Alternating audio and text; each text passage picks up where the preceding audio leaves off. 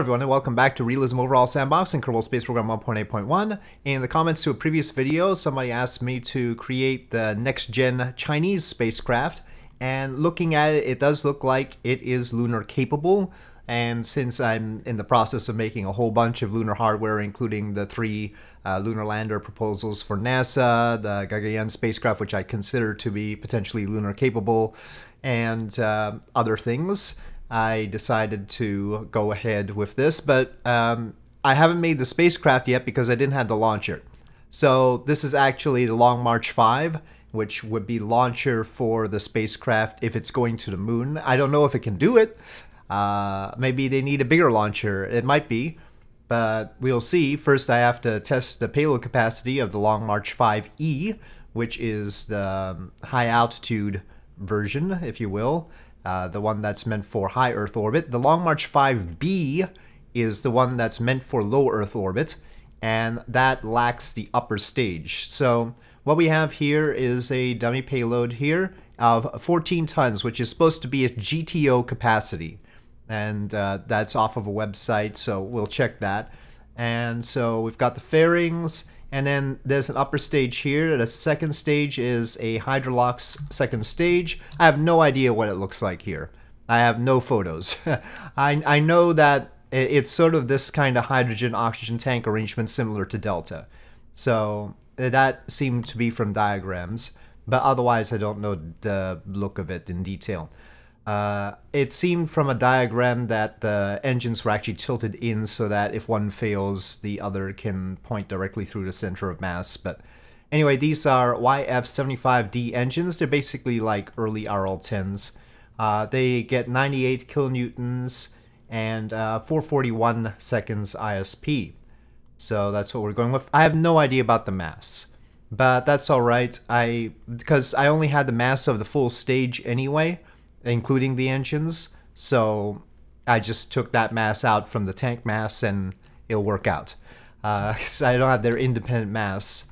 But as far as the math for this rocket is concerned, we can do it, basically. And uh, so interstage there, and then the core stage tank. And at the bottom here, we have two YF-77s. And these, again, I don't have the mass of, but same idea. I have the mass of the full stage. And they are only 660 kilonewtons. So basically, they're like BE3Us at the bottom of this. There are two of them, and so combined, they make up the thrust of basically a Vulcain 2. And uh, you can see the ISPs at sea level and vacuum for them. And those seem fairly well established. And uh, as far as five ignitions, I don't know. I think they only have one ignition probably. I'll probably change that. I just copied the configuration from something else. So yeah, anyway, that is those. And then the boosters are Kerolox, kerosene and oxygen burning engines.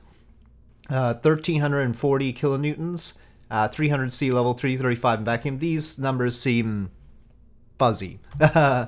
Uh, these are uh, seem to be around about that area. So again, subtracting the mass from the mass of the booster produced a reasonable estimate, and we'll see how it works. It might be that uh, things are a little bit wrong, of course, but I feel more certain about this than I feel about other rockets because at least this has launched.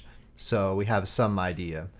Uh, the fins are actually built into the booster things, uh, so I don't know if I want to separate those out or not. But yeah, that's all one part, the cone and then the fin there. There is a separate decoupler part there.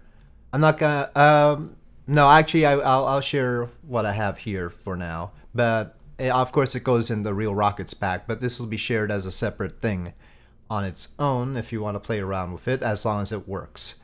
So what we want to do is get this payload to geostationary transfer orbit, which is with an apoapsis of 35,786 kilometers. And we are launching out of Wenchang because I don't launch things over land and drop my boosters on people. So, uh, all right, we'll see how it works. And so the 5B is the one without the upper stage, and that can carry 20 tons to low Earth orbit. Anyway, so the numbers are pretty tight as far as getting this 14 ton, 14 ton payload to GTO. We'll see. So this is what it looks like outside. Alright, so SAS on, throttle is up, and ignition. And launch. It seems like we have plumes. They're those kinds of plumes. but, okay.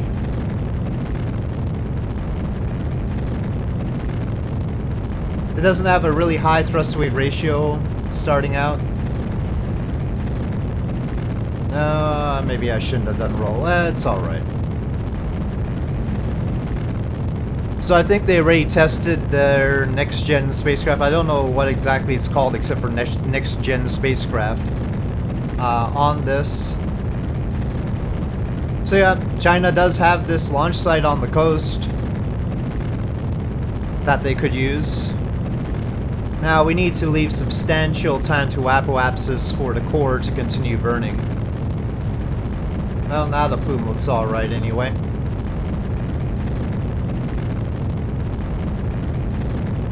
It's, they're fairly long burning boosters, nearly 3 minutes. So, uh, as far as the fuel I put in, it's based on burn time and the fuel mass. So, made sure that those agree with what numbers were available. I don't know how decoupling is going to go exactly. The Separatrons are built into the tanks as well. Got pretty high G-forces at the end of this separation. Uh, well, doesn't have the nice fling out thing going, but cleanly enough.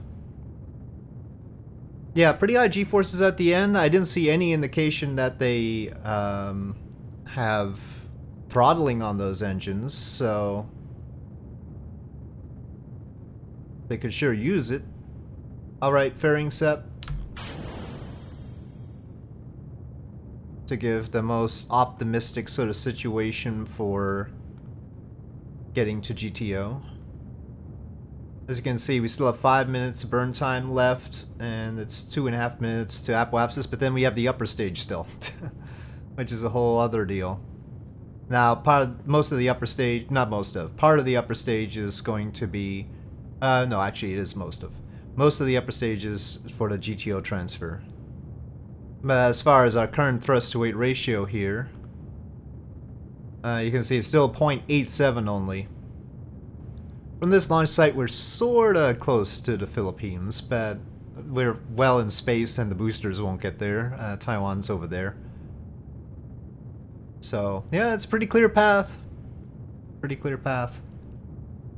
So I'm getting it pretty high because of the upper stage, but maybe I'm overdoing it.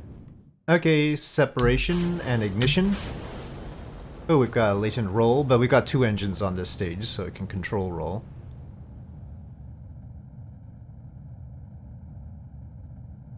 Well, uh, well, it's still tight. uh, so we'll see. Mathematically, uh, we need 7,800 meters per second for orbit, so we need 1,300 more, and then we need 2,400 to get to GTO. Uh, so that's 3,700 altogether, and we have 3,800. So that's pretty tight. And we're we've got lackluster thrust weight ratio now, so that's gonna hurt a little bit. Uh, 0.42. Okay, pitching up, as is the way with these upper stages meant for GTO. But overall looking good for 14 tons to GTO as specified. The only thing is, I don't have a sense of whether there's RCS on the stage, so I haven't put RCS. You could add RCS, that's no problem. I mean, uh, there's a nice flat surface here for you to, or, or even on this side. Little RCS ports as necessary and little tanks. Yeah, maybe toss it up a little bit too high. I don't know if they're trying for the Ariane thing where it just keeps burning, but I think the burn time is actually too low for that. So I'm gonna shut down. But I don't know if I can restart at this point without RCS ports. Um, so for GTO you have to be over the equator and we're not over the equator yet and the fuel can get unsettled. I think that's close enough though. Okay, let's try an igniting and orbit prograde ignition. Well, we got lucky, but yeah, RCS is probably going to be necessary for this if they don't keep it burning. But I don't know how they would keep it burning unless they could turn off one of the engines. If they're pointing both of them through the center of mass, I guess they could just go with one engine. Then they could just keep it burning. Okay, well, that's geostationary transfer orbit, a little bit past, but that's normal, actually. Uh, a little bit of spare for maybe adding the RCS and the payload adapter. I maintain that this is probably a pretty good facsimile of the Long March 5E, given its intended capabilities. Now let me take the upper stage off and see what happens with the Long March 5B. These are the two variants that have been launched. Uh, I don't know about the others. I don't like the others. um, uh, the other two variants that seemed reasonably planned are the D and F, and these uh, both have lesser capabilities to GTO. They both have the upper stage, so they're both GTO launchers, but they have lower payload capacities. And what they do is they put um, either four smaller boosters using only one of the YF100 engines. Uh, that's the F version or they put two of the big boosters with two of the YF100 engines and then two of the boosters with just one. So basically six of them. But I, I I'd be interested to see if they ever launch either one of those. So anyway, on with the test of the Long March 5B. Now, being able to remove the upper stage entailed being able to attach the fairings to this stage instead. And so, uh, well, anyway, let me reroute actually. Oh, but I put it on, well, we don't need the interstage anymore, right. So there's this procedural ribbed payload adapter. And maybe I should make it bigger before putting it in. Uh, could do with making it a little bit taller. I guess we'll just have to deal with that. Okay. So there's a payload adapter now. And they said this without the upper stage can do 20 tons to LEO. So, okay. Okay, so this is Long March 5B.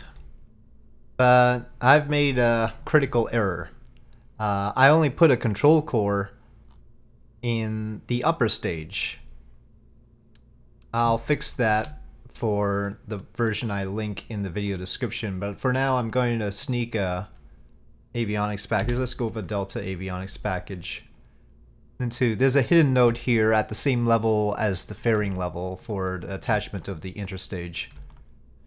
Um, we need to reroute to this part. Ah, okay. Now it all makes sense. All right. Now it all makes sense, but uh, let's do a little bit more. Let me bring that down to closer to 9,500 and see. Maybe 20 was just a round number. Let's try 24 tons. Okay, sort of a stout looking thing. And tagless in this case. But alright, throttle up, SAS is on. That Delta V reading is completely different now. But ignition. And launch. Uh, oh, I guess we hadn't fully spooled up. My bad.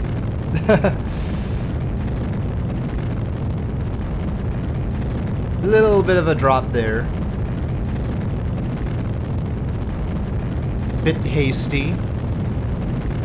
Well, certainly more vigorous, which means that the thrust-weight ratio is gonna be even worse when the boosters stop. Oh, they do throttle. Okay, Alright, so there is a throttle range. Well, according to Wikipedia, there's a throttle range. so the other source didn't mention that, but alright. I'll add a throttle, the Wikipedia specified throttle range to it. So that doesn't have this horrible thrust weight ratio at the end. And separation. And fairing sep. So it throttles down to 65% it says. Okay, approaching orbit. And shut down 292 by 261 and we've got 228 meters per second left, so 24 tons seems about right. So it's not 20 tons, and this is more like what I would expect. So okay, I've uh, made some changes, including the throttling of the engines and a few other things, and uh, moving the plume down a bit for the upper stage engine. This is why we test. And so this is a capable rocket to do things. I'll look into making the Chinese spacecraft a little bit later. Uh, but this could be useful for many things. We'll see. Alright, so with that I'll say thank you for watching. I hope you enjoyed this video. If you did, please do press like. If you have any comments or suggestions, please leave them in the comment section below, and I'll see you next time.